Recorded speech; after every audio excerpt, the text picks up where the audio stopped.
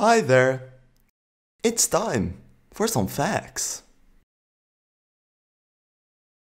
Nomophobia is the fear of being without a smartphone. I went to a dinner the other night, and one of the first times I've ever been to a dinner in my life with people over the age of like 28 or 30, and everyone, besides me, pulled out their phone when there was a quiet lull in the conversation. Now, this scared the absolute crap out of me. Now in this video, I want to share how to stop using your damn phone so much. So how much sleep do I get? Some doctors work 24 hour shifts. In short, it completely depends on the night. So let me back up a little bit. When I'm on call, it's from 7 a.m. in the morning through 7 a.m. the following morning. So when I get into the hospital in the morning, I'm usually just going about my normal day doing procedures, and I usually am done around 6-ish or maybe like 7 at the latest. Sometimes, or usually, there's a late case which goes on until like 8 or 9, and sometimes an emergent case after that, but then I get to go home.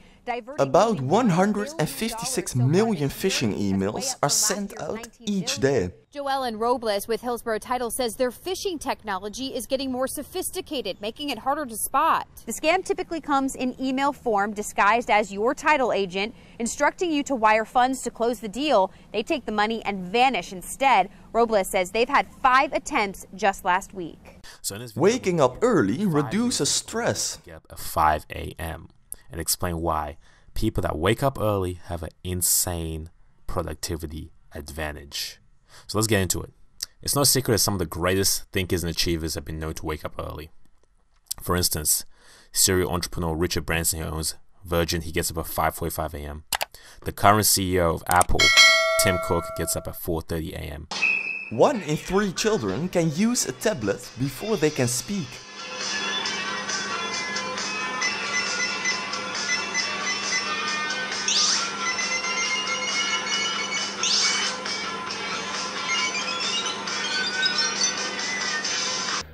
Around one in three women have ever been beaten or abused. Well, I'm going to give you work. A real life to save. When I'm done.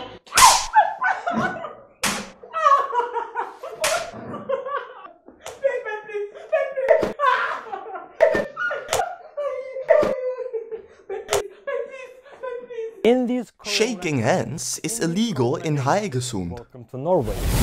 Listen to this and you will be shocked. This is crazy.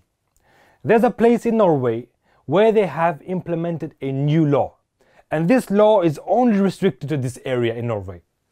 This law states if you shake the hand of someone, you risk prison up to two years.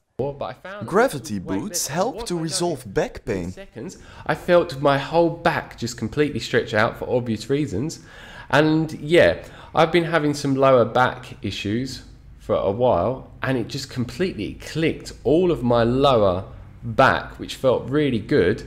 And then I found once I got down that all the back pain that I had there was just completely eliminated so quickly.